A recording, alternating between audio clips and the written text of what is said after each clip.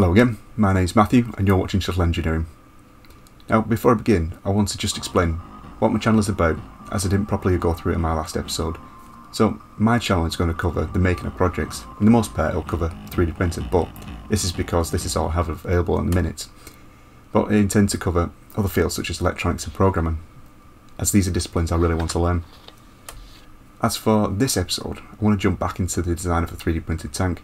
Now, Obviously, I don't want to copy every other individual's design on YouTube, so I want to use this opportunity to learn how a conventional drive system works on a tank, as they always use a single engine design. This is in comparison with the dual electric motor design of most remote controlled tanks. Obviously, the tanks used during the war were capable of skid steering, as well as being able to traverse forwards and backwards. I want to know how they were able to achieve this while using a single drive mechanism and to see if I can 3D print a working model to illustrate the principle. Quick side note, as you can tell, I've changed my microphone and now I don't sound like I'm trying to eat the bloody thing. For that matter, I've upgraded the microphone to a Blue Yeti Snowball Ice. It definitely sounds significantly better than my last microphone, and I should have spent a small amount more on this than buying a slightly cheaper one just to buy another microphone down the line. Well, I originally assumed that the microphone couldn't be that bad because the price wasn't rock bottom, and my first impression was that it seems to have a, a, good build quality and that I didn't know how to use it properly and that's why the sound reproduction was terrible. But after several attempts at trying to improve the sound reproduction I gave up. I decided to go and buy a new microphone. One at least that has been recommended by a significant amount of YouTubers. It's of uh, curiosity I opened up the old microphone to see what was in it, but while I can't tell if the microphone was any good, or for that matter the electronics, I noticed there was a large chunk of steel in the microphone. It definitely shows that if something is heavy, it feels like a good quality product, but this is something I should keep in mind for the next time I buy something. Back onto this episode's project. Now, the drive mechanism used that I'm interested in is the triple differential steering mechanism, also known as the Merritt Brown triple differential. Now, what I'm going to do is to break the drive mechanism down into three sections, split between three episodes. First, in this episode is the planetary gearbox. The second are the differential gears, and the last will be the brakes, and a completed drive mechanism thereafter. So, compared with the last attempt, the 10 to 1 spur gearbox, this design will be more compact, and I have gone with a 20 to 1 gear ratio to extract as much power uh, from the motor as possible. This is because small motors like these, well, high powered, the majority of the power is angular velocity, not torque. As to how I designed the planetary gearbox, Here's how I did it. To start off, the 21 gear ratio was more of an arbitrary figure, and as the motor that I'm using can spin up to approximately 50,000 RPM at its highest rated voltage, a drop of 20 times would bring the RPM into more reasonable value. Although it is possible to work backwards from a non-linear speed to determine the gear ratio for the motor, assuming that the motor had a sufficient torque. This would be only be practical to work for remote control vehicles as the power to weight ratio is extremely high, and obviously this would be wouldn't be practical for the real life vehicle. To keep it compact, I've decided to build the Planetary gearbox as a two-stage gearbox, as this design will be longer and more manageable for an RC vehicle rather than a pancake shape, as there will be two sets of small gears rather than one set of large gears. Now, to work out the gear ratio of either stage, assume that they're equal, I calculated the square root of 20 to find the gear ratio, so in my case, the square root of 20 will be 4.47, therefore each stage of the planetary gearbox must have a gear ratio of 4.47. Now, using this, and another arbitrary figure for the module of the gear, in my case 1mm, I first modelled one of the planetary gears, whereby I used the trial, the trial and error to find the smallest number of teeth that would fit my bearings. In my case, I'm using a 3mm uh, bearing with a outer diameter of 10mm, and so I chose to use 16 teeth for my planetary gears. The number of teeth in the sun gear was found, again by trial and error, by seeing how many teeth are required to keep the planetary gears from touching one another, and to have a small amount of room left over for the planet gear carrier. As for the ring gear and sun gear, these determine the gear ratio of the stage, so to determine the gear ratio of the equation is the number of teeth in the sun gear plus the number of teeth in the ring gear over the number of teeth in the sun gear. After rearranging the equation, the ring gear can be calculated by first multiplying the gear ratio by the number of teeth in the sun gear then subtracting the number of teeth in the sun gear from the products of the sun gear and the gear ratio. In my case, the ring gear has been calculated to 45.11 teeth. Concerning the CAD design, I decided to give the ring gear 46 teeth as this allows for a small gap between the planet gears and the uh, ring gear to compensate for the tolerances of my 3D printer. Afterwards, using the partial, 3, uh, partial 3D model, I designed the remainder of the planetary gearbox around the gears. And um, before anyone says, yes, what I've just explained to you, explained to you is daft, but I don't know how much torque I need to transfer through the gearbox, and so far I haven't designed the remainder of the triple differential drive system and the tracks, so I can't work backwards to determine a suitable gear ratio. Also, without the material strength, I cannot calculate the gear size, so it's an educated guess in order to build a practical gearbox that is only really useful for remote control vehicles. So here we are, the 20 to 1 planetary gearbox. Now, I've gone from the spur gearbox to the planetary gearbox to improve the shape and in order to fit it into an RC vehicle. And it has the added benefit of having a higher gear ratio as well as a high torque capability. Now, the, as the module for the both gearboxes is the same, the maximum torque that can go through the gearbox is four times gr as great as there are four planetary gears compared with the single contact uh, gear in the spur gearbox. Besides the comparison between the two gearbox types, I've built upon the design aspects that I think have worked well and modified the aspects that haven't been as useful. Starting off, the threaded inserts proved to be useful in the assembly process and proved to be strong enough to hold the gearbox together. However, I have found the previous design that not every 3D printed components sit flush with one another, and the problem was that the insert produced, produced flash that protruded above the surface of the part which stopped the mating, part, uh, mating components from being flush. To fix this, on the new design, I've incorporated a chamfer where the brass insert would reside. So this would accomplish two things. One, the first would be to allow the insert to be aligned more easily while it is being uh, melted into place. The second would be to the recess the insert into the part so if uh, there is any uh, flashing of the plastic, this would only be below the component surface. The next design modification is the use of 3mm down to dowels. Now these are used to align the 3D printed components so the ring gears and the planet carriers are not dependent on the fasteners, as these are positioned on very loose tolerances. Now, this will ensure that, that once the gearbox is assembled, the gears are aligned, and this will prevent excessive friction and wear. As for the last major modification, I've reduced the main shaft sizes from 8mm to 3mm, because I can reduce the size of the gearbox, and it is more, more of a guess, but I would expect the gear teeth to fail before the smaller 3mm shafts. Right, it's time to get on with the build.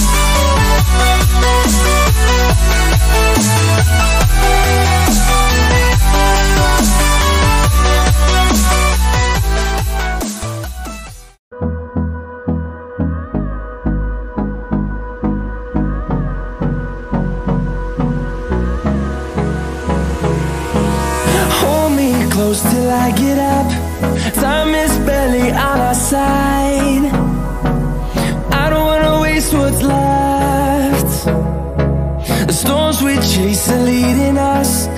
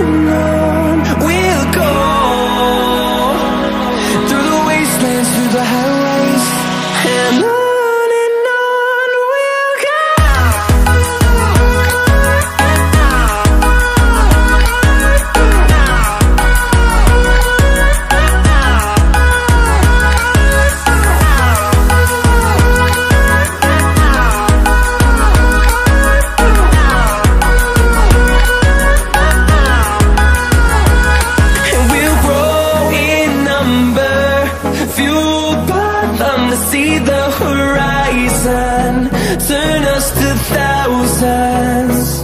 And we'll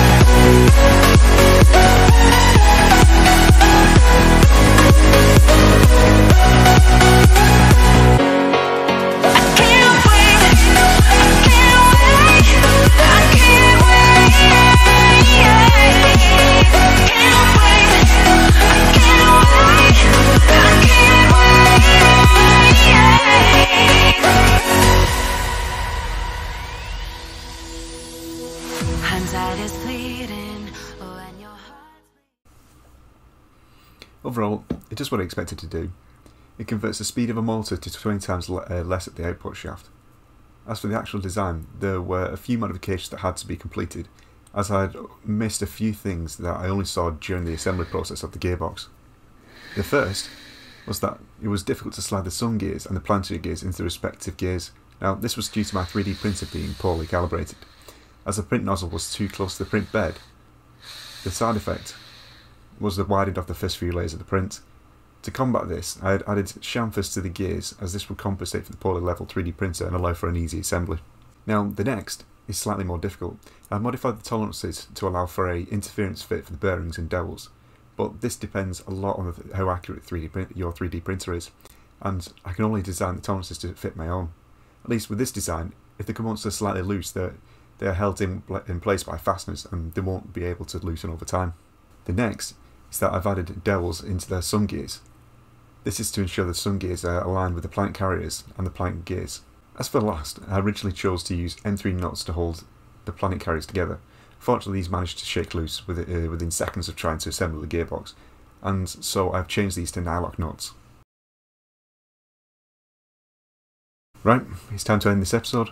Hope you've enjoyed this episode and hope to see you on the next one. Bye.